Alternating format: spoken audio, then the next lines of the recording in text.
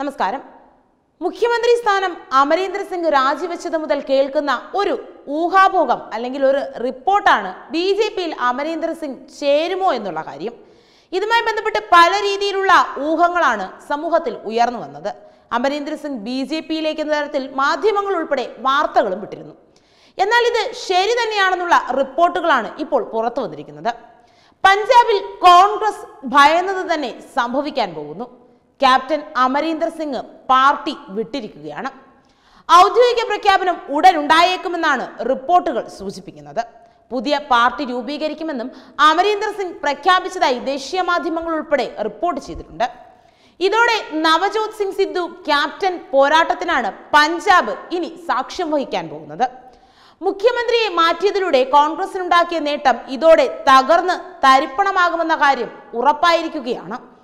B J പിയുമായി അമരീന്ദർ അടുക്കുന്നു എന്നാണ് റിപ്പോർട്ടുകൾ വ്യക്തമാക്കുന്നത്. അവർക്ക് മുന്നിൽ വലിയൊരു ഓഫറും വെച്ചിരിക്കുകയാണ് ക്യാപ്റ്റർ എന്നാണ് റിപ്പോർട്ടുകൾ പറയുന്നത്. തന്നെ രാഹുലും പ്രിയങ്കയും ഹൈക്കമാൻഡും ചേർന്ന് അപമാനിച്ചുവെന്ന് നേരത്തെ തന്നെ ക്യാപ്റ്റൻ അമരീന്ദർ സിംഗ് ആരോപിച്ചിരുന്നു. അമരീന്ദർ സിംഗിന്റെ നിർണായക പ്രഖ്യാപനത്തിൽ കോൺഗ്രസ് നേതൃത്വം വിറച്ചുവെന്നത് ഉറപ്പ് തന്നെയാണ്. രണ്ടായിരത്തി ഇരുപത്തിരണ്ടിലെ നിയമസഭാ തെരഞ്ഞെടുപ്പിൽ ഇതോടെ കോൺഗ്രസിന്റെ വോട്ട് ബാങ്ക് ഭിന്നിക്കുമെന്ന കാര്യം ഉറപ്പായി. ചതുഷ്കോണ പോരാട്ടത്തിനാണ് പഞ്ചാബ് സാക്ഷ്യം വഹിക്കാൻ പോകുന്നത്. Congress A A P Akali Dal B S P Amarinder Singh B J P എന്നിവർ ചേർന്നായിരിക്കും മത്സരിക്കുക. എ എ പിയും അമരീന്ദറും കോൺഗ്രസിനെ വോട്ട് ബാങ്കിനെ ഭിന്നിപ്പിക്കാനാണ് ലക്ഷ്യമിടുന്നത്. എ എ പിക്ക് അധികാരം പിടിക്കാനുള്ള സാധ്യത ഇതോടെ വർദ്ധിച്ചിരിക്കുകയാണ്.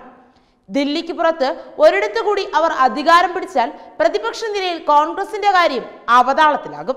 പുതിയ രാഷ്ട്രീയ പാർട്ടി ഉണ്ടാക്കിയാൽ അതോടെ ബി ജെ പിയുമായി സഖ്യമാവാമെന്നാണ് അമരീന്ദറിന്റെ നിലപാട്. കേന്ദ്ര സർക്കാർ പക്ഷേ മൂന്ന് കാർഷിക നിയമങ്ങളും പിൻവലിക്കണമെന്ന് അമരീന്ദർ ആവശ്യപ്പെട്ടതായും റിപ്പോർട്ടുകളുണ്ട്. എന്നാൽ മാത്രമേ അമരീന്ദർ ബി ജെ പിയുമായി സഖ്യമുണ്ടാക്കൂ എന്നാണ് പറയുന്നത്. അതേസമയം കേന്ദ്രം ഇതിനൊരു പോംവഴി കണ്ടെത്തുമെന്നാണ് റിപ്പോർട്ടുകൾ പറയുന്നത്. നിലവിൽ അവർക്ക് പഞ്ചാബിൽ ഒരു സ്വാധീനം ആവശ്യമാണ്. വലിയ നേതാക്കളെ അവിടെ വേണം. അതുകൊണ്ട് തന്നെ അമരീന്ദർ സിംഗിനെ തങ്ങളുടെ പക്ഷത്തിനാക്കാനുള്ള ശ്രമം അവരും നടത്തും. അമരീന്ദർ വരുന്നതോടെ ആ ബലത്തിൽ ശക്തമായ സാന്നിധ്യമാക്കാൻ ബി ജെ പിക്ക് പഞ്ചാബിൽ സാധിക്കും. ബാദൽ കുടുംബത്തെ പോലെയല്ല ബി ജെ പിയുടെ രാഷ്ട്രീയവുമായി ചേർന്ന് പോകുന്ന നേതാവാണ് അമരീന്ദർ എന്ന് മുൻകാലങ്ങളിൽ തന്നെ പലപ്പോഴായി റിപ്പോർട്ടുകളും പുറത്തു വന്നിട്ടുണ്ട് പഞ്ചാബിന് വേണ്ടിയുള്ള പോരാട്ടം തുടങ്ങിയിരിക്കുകയാണ്. എന്റെ പാർട്ടി ഞാൻ ഉടൻ പ്രഖ്യാപിക്കും. പഞ്ചാബ് ജനതയ്ക്ക് വേണ്ടിയാണ് ആ പാർട്ടി. അതിൽ കർഷകർ അടക്കമുള്ളവരുണ്ടാകും. ഒരു വർഷമായി ഞാൻ അവർ പോരാടുകയാണ്. പഞ്ചാബ് ജനതയുടെ താല്പര്യം സംരക്ഷിക്കാനാണ് പാർട്ടിയുമായി വരുന്നതെന്ന് അമരീന്ദർ സിംഗിന്റെ മാധ്യമ ഉപദേഷ്ടാവ് രവീൺ തുക്രൽ പറഞ്ഞു.